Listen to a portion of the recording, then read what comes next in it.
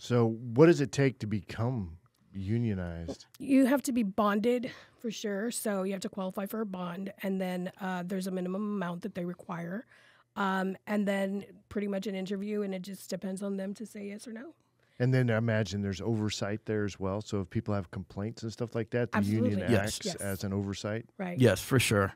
Um, there's a board, a committee, everything all involved. And plus, if you look nationwide, you have local unions all over the place electrical, plumbing, HVAC, elevators, carpenters. So they're just all over the place. And that's something I think some of us outside of the trade network, because I, I did real estate as well, and, and my my main focus was getting someone that would show up and do the price that was reasonable. So we don't really think of the unions. And you guys attacked starting a new business from a different angle. You said, you know, it's not the cheapest to go union, but we see the benefits in it, especially from the commercial standpoint. So you guys jumped right into that. How has that worked out getting commercial jobs? How are you leveraging that too? we are seeing more commercial jobs come in, which is amazing. You know, uh, it's not where we want to be uh, exactly just yet, but we are only a year and a half into this. So, um, but we have be- seen the benefits of being union and the commercial jobs coming in. So how do you guys stand out? I, obviously, you're union, but how else, as far as services you guys provide? Really, the biggest thing is uh, showing up. Isn't that interesting that we've come to a point in in our culture where a big deal is just showing up? Yeah, showing up and then a lot of integrity. Like I tell my customers, I, I rather build relationships than customers because customers are all over the place. But having a relationship is something different. So for us, I rather try to build a relationship with everybody we meet. So that way we understand their problems, what they're going on, and let's figure out a way to satisfy them so that way they will have confidence in other plumbers or us to come back and do some more additional work for them. Yeah, and there's so talk about services just real quick. I think the speaking of relationship because there are things that really should be done maybe every year or even maybe maybe more than once a year as part of maintaining your home when it comes to plumbing. What would some of those things be? Uh, you could have like your backflow tests. Um, backflows, you have them in your irrigation systems throughout your commercial buildings to be able to protect your potable water from contamination or cross contamination. So you got different backflows that are really key factors in your residential and commercial industry. And and those are required to be checked annually. once a year. And then for some commercial buildings, yes, you have a bunch of grease waste, and those need to be either hydrojet every three months or every six months, depending on how big that facility is. Hmm. What about um, like tech, uh, water pressure testing? Is that something too? Or? Yes, your water pressure, you could always get a hose bib gauge. Like I tell people at Home Depot, they're only about 11, 15 bucks. Grab it, stick it on your first hose bib uh, front of your property, and you'll be able to see your PSI. Your PSI should be ranged between 35 and 80 at the max. If you're above 80 PSI, then that means your PRV's already gone bad. And it could affect all the seals through everything in your house Yep. and all your fixtures. And water heaters too. People don't realize that you can flush out your water heater to preserve their life. You know, um, so that's um, that's a good thing. Uh, What would you recommend for them to? Oh, it's do- pretty simple. Just get um, normal your wife, girlfriend's pantyhose, cut it, uh, tie it to your water hose at the end of it, and you'll see how much calcium comes out. If barely any calcium's inside that little pocket sleeve that you just made, then you know you're flushing it well. If it has a lot of calcium, then you know you need to flush it a little more frequently. How often should you be doing it on average? Typically, it's about once a year. okay, and that's a flush, not a drain, right? That is correct. Yeah, I've heard people call it, and I actually got corrected by a plumber one time. He's like, "You don't drain it, Marc." And I'm it's Pedro, um, uh, Tito. Sorry, Tito. Tito. Yeah, he- he "You don't drain it, Marc. You uh, he's got a, a Puerto Rican accent. He's a great guy, but uh, you got to flush it, right? Which means you keep water pressure going. That into is it. correct. You don't empty it out. Yes, and if they're going to empty it out, if it's an electrical water heater, I suggest unplugging it or killing the power to it so you don't burn your elements. See, I'm a big proponent of not DIYing stuff that's more than a certain amount of money. So I just pay somebody to do that because um, I don't know what I'm doing when it comes to my water heaters, right? I'm curious though, like in real estate. So you have a background in that.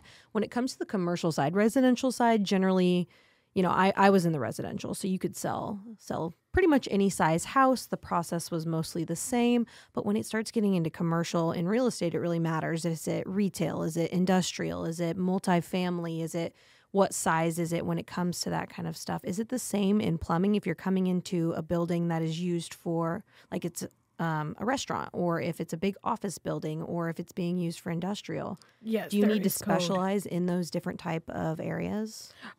Do you need to specialize? N- not necessarily. If you know the code, you can pretty much work on anything, right? Um, but Pedro comes from a background of commercial plumbing. You know, um, that's what he was in the union for was strictly commercial. Oh wow. But uh, when he was my plumber, he did a bunch of residential, so he got the experience of both worlds. But to specifically have a dedicated, because like in real estate, you have a dedicated dedicated uh, name to it, right? Yeah. Um, but here in plumbing, you don't. So it's really um, what you're comfortable doing, you know. And and luckily for us, we've had the experience in both spectrums, so we're we're pretty pretty uh, knowledgeable. Because what I found in real estate is every once in a while you'll get a real, like a residential agent who will stumble into a commercial deal Right. and they don't know what they don't know, which, you know, they'll work as hard as they can, but I would not try to sell a commercial deal, even with all of my knowledge of real estate, because I just don't know what questions to ask. I don't know what I don't know. So I would imagine that's so important in the plumbing, even even more. Well, you know, a good example would be our son, who's a first year apprentice right now. Like, um, he's getting some commercial experience with us, right? Because we're taking on commercial jobs, but um, he's mostly in the residential, right? So we've talked about letting him go and going to go work for another plumbing company to get the experience that does strictly commercial so that he could get the experience. You know, Pete has 15 years of experience, but I mean, he's just in this for not even a year yet, and he's been exposed to more residential than he has mm-hmm. commercial. So we've What's, talked what's his that. thoughts on you letting him go? You're not going to fire me, Mom, are you? Uh, I, I don't don't think he likes the idea, but Uh, I think on some days when uh, him and Dad are not getting along, he likes the idea. Would he take a pay cut? no, no, No, no. no, We're all don't. our pay's So- all the way straight so across the, unions- board. Yeah, the union, Oh, you know exactly So what he you're would go getting to another union company. Yes, Right. yes, for sure. All right, cool. and Right. still make the same amount of money as he's doing with us or even more depending because we only stick to a 40 hour week. Uh, once in a great while we do work on saturdays and sundays. But for him working um, for instance another big union contractor they'll be working monday through sunday sometimes. Right, because they're looking to put up a whole building, and you know they're meeting deadlines, so they have to, you know, work more. Um, because we are family owned and operated, we prefer to work the forty hour weekday, so we still have our family time. But we are available and have you know plumbers available for emergency services. So When it comes to you guys' success so far, what are some like key points of your success that you guys maybe have experienced and, and why? uh, I say the experience of working together for sure. Um, maybe that's the challenging part everybody knowing their place. Well, yeah, I, I think a, a family in this respect is like a business, right? As long as the roles are defined and people are doing what they need to be doing, then things Yes. run Exactly. smooth. it should It should, but you know, then you ha- you know, Pete is very passionate about what he does. I mean, extremely passionate about what he does, and I think that is one of the biggest, biggest uh, reasons why we've succeeded this far. Um, and um, and my position is um, selling him to people. So. And it doesn't take me very much. I mean, I really admire what he does, and I admire that he has extreme um, passion and integrity doing what he does. I mean, the reviews that come in and you know having to speak to a customer on the phone for an hour raving about your husband is pretty amazing you know what i mean um, but um, we tried to i think the success is also trying to find a true balance because sometimes someone will be up at 8 o'clock at night wanting to put me to work and i'm like um, i'm sorry i clocked out at 5 o'clock Yeah, but a lot of our big success does come to as well by when we get phone calls. Instead of me charging two, three hundred dollars to go out to your house, I will kind of walk you through it over the phone. and not too many plumbing companies will do that. And like I said, I'd rather build relationships. So if I could save you a few hundred dollars for us not even showing up, then why not? That's the blessing that we're able to give to people. Yeah. So one of the things that that I always hear in the the entrepreneurial world, right, is success is simple, but it's not easy. How has that shown up in y'all's business so far? Um, okay, so uh, we are a small business, and so um, when we're doing bigger jobs, you know,